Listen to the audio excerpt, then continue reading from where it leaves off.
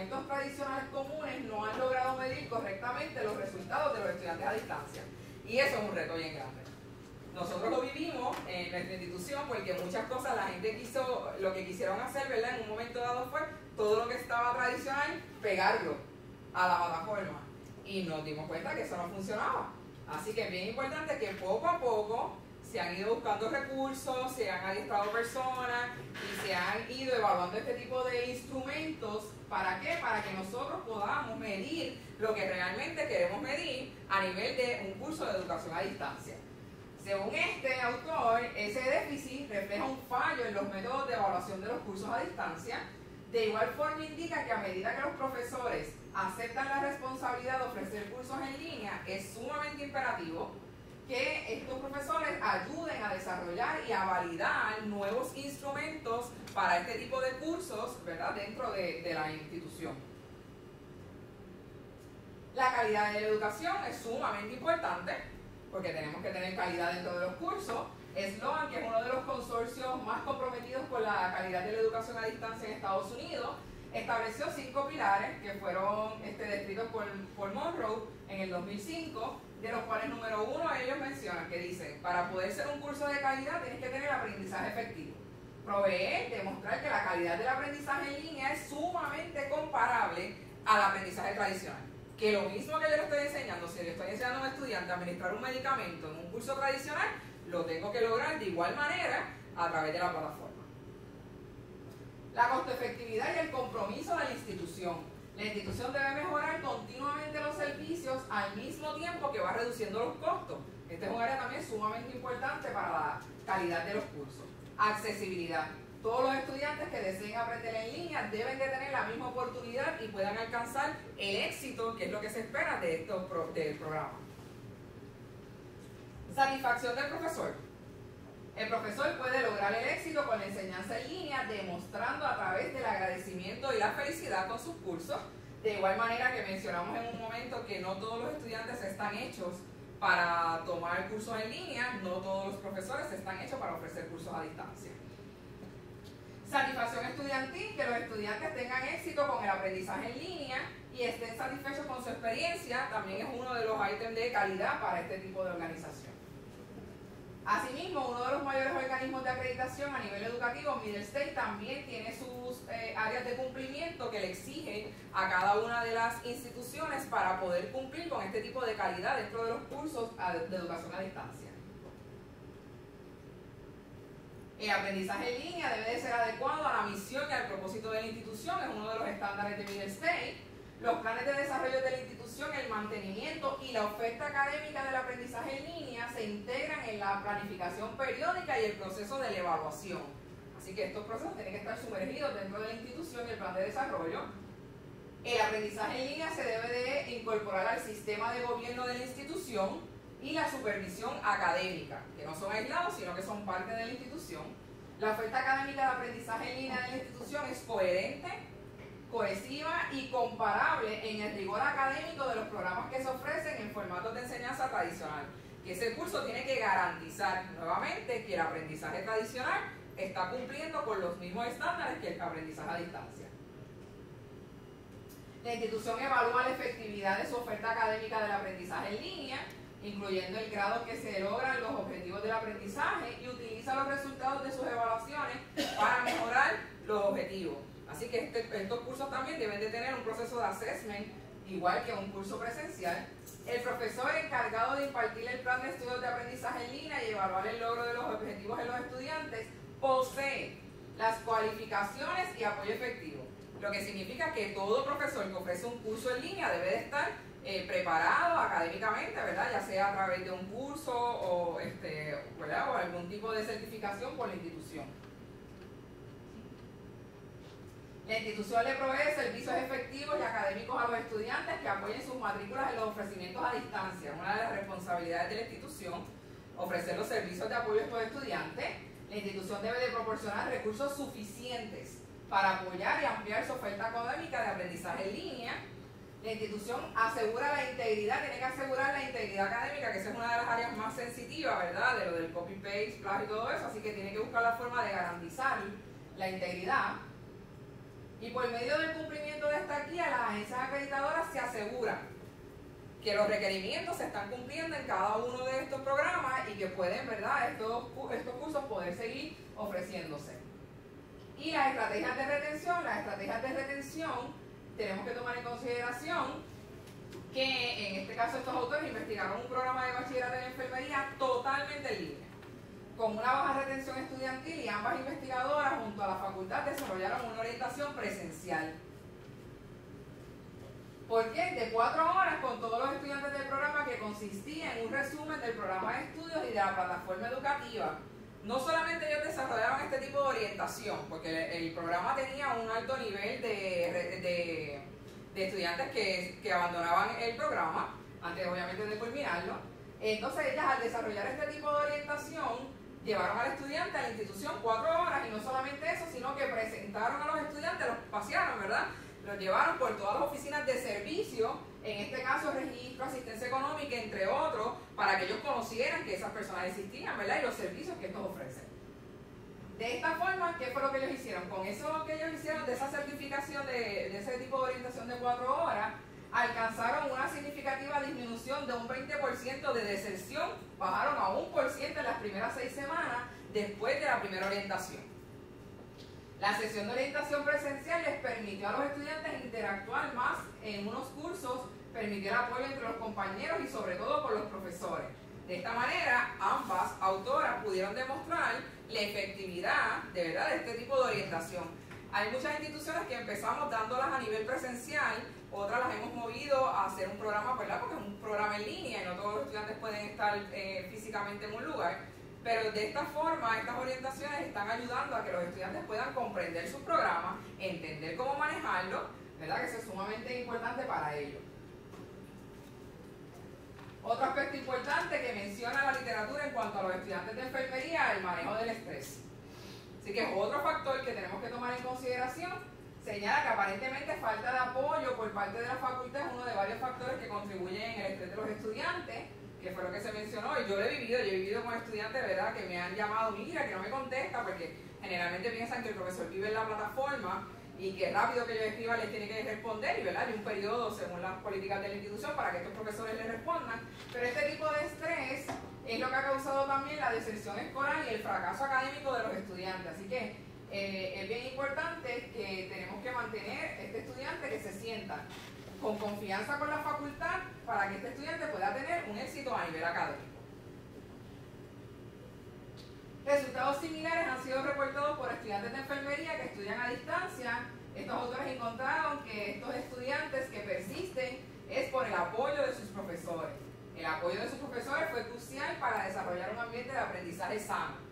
Muller encontró que la pobre interacción del profesor, nuevamente hablamos de interacción, con los estudiantes a distancia estaba entre los dos principales factores identificados como barreras a la persistencia y por ende el éxito académico de los mismos. Fundamentalmente se identificó también en los estudiantes que tienen dificultades académicas a nivel temprano. Es bien importante que es una parte que estaban mencionando unas personas en la mañana de hoy. Es bien importante identificar los estudiantes de forma temprana que estén eh, cumpliendo con eh, algún tipo de situación o dificultad académica. Principalmente, como estaban hablando, el primer examen que estos estudiantes tomen en el primer semestre, poder identificar ese tipo de deficiencias a tiempo para poder ayudarlos. Asimismo, eh, los autores eh, refieren que los consejeros deben trabajar directamente con los miembros de la facultad, que son los que conocen el desempeño académico de los estudiantes, para identificar a los alumnos que tengan dificultades a partir de la obtención de una lista perdón, de los que no pasaron el primer examen del primer término académico. ¿Cuáles fueron los resultados del estudio? Después de toda esa revisión de literatura, se desarrolló un cuestionario en el cual se utilizaron 20, 20 ítems de los que hemos mencionado aquí. Diseño del curso, la calidad, la evaluación, la flexibilidad, todo eso se tomó en consideración. todo esto se tomó en consideración y los estudiantes demostraron que el, el valor significativo para ellos más importante dentro de... Gracias dentro del estudio como tal, ellos lo más que para ellos fue importante, para ellos es importante la flexibilidad académica. Así que sumamente importante para ellos, el, 84% de los estudiantes que contestaron el cuestionario, de 100 estudiantes que fue la muestra, nos dijo que la flexibilidad académica era para ellos lo más importante y la calidad en un curso. Así que esos fueron factores también que para ellos fueron significativos. Precisamente estos autores nos dicen en su investigación, ya que los mismos identificaron que la flexibilidad del horario, la conveniencia y la efectividad, así como la fácil adaptación con sus metas y su desarrollo profesional, son razones para que los estudiantes se matriculen en cursos en línea. Así que estos son los factores que más dieron resultados en este estudio. De igual forma, para los estudiantes también nos identificaron como un 78% la plataforma educativa la plataforma educativa para ellos fue eh, un factor determinante. Yo entiendo que también dentro del estudio una de las áreas fue que el en el caso de la institución donde yo trabajo, se hizo un cambio de plataforma más o menos para el tiempo que yo hice el estudio y pues obviamente ellos sintieron ese cambio significativo y eso fue lo que también arrojó para que ellos tuvieran ese por ciento. El adiestramiento sobre uso y manejo, que lo mencionamos anteriormente eh, según la literatura, muy importante para ellos con un, un 74% eh, para ello y son aspectos que contribuyen a reforzar el principio de enseñanza y aprendizaje virtual en el cual establece que el estudiante virtual debe percibir la tecnología como un elemento transparente para el proceso. Y otros autores ¿verdad? coinciden con lo mismo.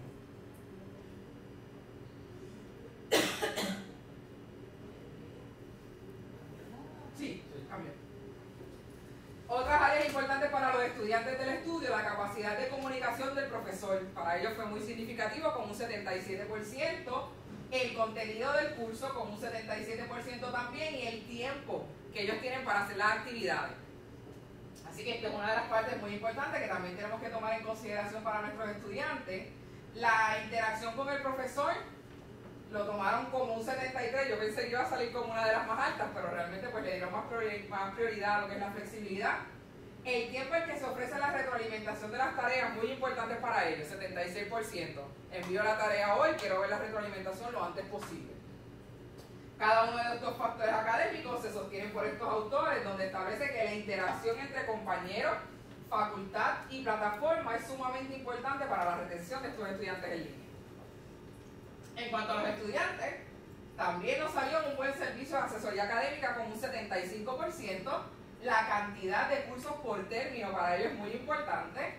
Y el tiempo y la duración del curso. Si en el caso ¿verdad? donde trabajo, pues es o 7 semanas un curso o 14 semanas, pues para ellos esa parte es sumamente importante. Puede contribuir a la disminución de las barreras disposicionales y epidemiológicas Dicha asesoría, que lo mencionamos anteriormente, debe consistir en ayudar a los estudiantes a entender el rigor y la estructura de sus cursos en línea. Y obviamente estos asesores, ¿verdad?, enseñarles a conocer y manejar su programa de estudio. Los asesores académicos deben contactar a los estudiantes en riesgo para poder ofrecerles apoyo. Una de las áreas más significativas que hemos visto como factor académico algunos programas exigen que los estudiantes ¿verdad? sean los que contacten a los asesores académicos de forma bisemanal para discutir el progreso académico que nos salió con un 76%.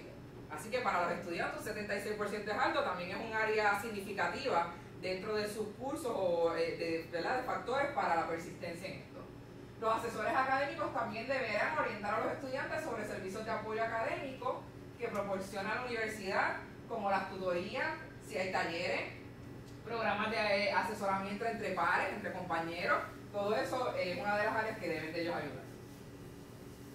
El diseño del curso y la accesibilidad de los recursos, un 74%, no fueron muchas las que salieron por debajo de 70, casi todas salieron más de 70. Eh, la empatía con el profesor y su situación, no solamente la empatía, ¿verdad? sino la situación que yo como estudiante tengo, cuán empático ese profesor es conmigo, reveló un 74% de, importancia para los estudiantes, los objetivos del curso salieron con un 70% y la accesibilidad de los recursos de información, lo que es el área de la biblioteca. Otra área que yo pensé que iba a salir un poquito más alta por el hecho de que el estudiante en Puerto Rico, la mayoría de ellos no, compra los libros de texto, y pensé que por eso, pero realmente para ellos fue más significante, ¿verdad? Otras áreas, y en el caso de la accesibilidad a los recursos de información salió ahí un 70%. Todos estos factores son una, una, una combinación que, como bien estableció Moore, la meta de educación a distancia es encontrar la combinación correcta entre el diálogo y la estructura para cada actividad de aprendizaje. ¿Cuáles fueron las estrategias para la institución? En este caso son estrategias de la institución. Eh, luego de que se realizó el estudio, es bien importante reevaluar las políticas, que fue lo que se dejó saber, tienen que reevaluar las políticas en cuanto a la disponibilidad de los cursos, ya que la flexibilidad resultó como el factor académico de mayor valor significativo en la decisión de los estudiantes para permanecer o abandonar dicha carrera. Número dos, establecer prioridades basadas en los factores académicos identificados. Este tipo de factores, que fueron 20, ¿verdad? Y las prioridades que ellos le dieron. Y el perfil de los estudiantes, identificar recursos disponibles dentro de la institución y desarrollar un plan de retención académica que se adapte a las necesidades de la institución, cosa que se trabajó en ello y se sigue trabajando, ¿verdad? Eh, diariamente. Número 3, implementar un sistema de alerta temprana. Una forma en que nosotros podamos identificar ese estudiante. En este caso tenemos notas de mitad de término, eh, ¿verdad? Otro tipo de herramientas que nos provee la asistencia de estos estudiantes para poder eh, identificar estos estudiantes que estén en riesgo de poder abandonar sus estudios. Una encuesta sobre el nivel de satisfacción de los estudiantes durante el primer año académico. En ese proceso estamos desarrollando encuestas y administrándolas, ¿verdad? Para poder conocer por qué, porque como pudimos ver en la literatura, el primer año es el año de riesgo de que estos estudiantes eh, permanezcan o eh, deserten la, la, institución. Identificar las áreas de oportunidad y trabajar obviamente sobre cada una de ellas y sobre todo a estos estudiantes proveerle apoyo académico, social y personal en la sala de clase, que eso es un área muy importante, como vimos son otros tipos de factores que existen eh, para que ellos puedan permanecer o abandonar la institución. Como conclusión, el aumento constante en la demanda de los cursos a distancia nos trae un reto académico a todas las instituciones educativas, ya que por su flexibilidad se están viendo obligados a suplir una demanda de cursos a distancia. La cantidad de cursos a distancia ha aumentado de forma dramática, así que es bien importante eh, velar, ¿verdad? Eh, como nos menciona la autora, confirma eh, que lo antes expuesto cuando menciona en su libro que los estudiantes que se unan a la demanda por los servicios virtuales serán sabios consumidores, analizarán cuidadosamente la oferta de los programas, estos estudiantes, y adiestramientos en línea y se matricularán en instituciones utilizando el criterio de la calidad de los programas. Así que es bien importante que cada uno de estos factores los tomen en consideración nuestros consumidores, ¿verdad? que son los estudiantes, para poder determinar si, se, si permanecen o abandonan la institución. ¿Preguntas, dudas? ¿Algún comentario? Yo tengo una pregunta. Sí. Ahora me voy a... El estudio fue diseñado para estudiantes en enfermería en una modalidad totalmente, Totalmente en línea. totalmente en línea. Sí. Y son estudiantes puertorriqueños. Puertorriqueño. Puertorriqueños. No latino. Ok. Sí.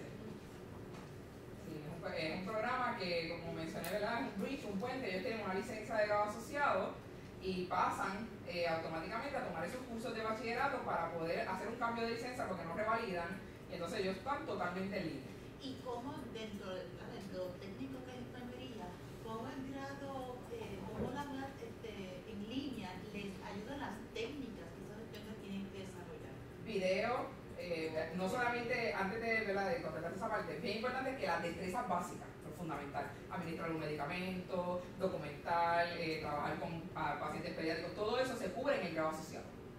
Por eso es que se toma en consideración llevarlo al bachillerato y el bachillerato se enfoca en lo que es investigación, lo que es liderazgo, que son las áreas que más se enfocan, y obviamente el área de la comunidad. Y en este caso estos estudiantes hacen una práctica de comunidad, pero es independiente. Por eso, como no lo lleva un profesor, no te puedo decir que es algo que nosotros lo, lo impartimos, un área de comunidad que ellos hacen independiente, pero ellos hacen examen físico, cogen una clase de examen físico y tienen que enviar video. Ellos tienen que hacer un estudio en el área de lo que es liderazgo, en la administración y liderazgo, y tienen que hacer este tipo de estudio que le envían al profesor con unos criterios ya establecidos previos. Hacen investigaciones, son cortas, ¿verdad? De, no llegan a una investigación pasando por un IRT ni nada de esto, pero por lo menos el concepto de la propuesta Y todo ese tipo de, de destrezas y estrategias se utilizan para que ellos puedan cumplir con ese tipo de, de destrezas.